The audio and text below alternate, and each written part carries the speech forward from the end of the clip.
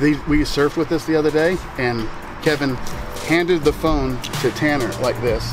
Tanner pulled it out of this,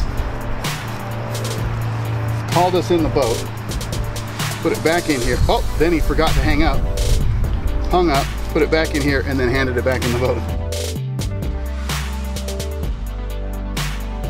Absolutely. Oh, all the time. Absolutely. What happens when your phone overheats? It goes into limp mode and you can't call anybody. You can't Bluetooth, you can't stream, you're stuck. And your whole world is in your phone. There wasn't a way. Yeah, no. There wasn't Had to wrap it up and just hope for the best. This is unbelievable. We were out surfing and it was, what's it, was 89 degrees?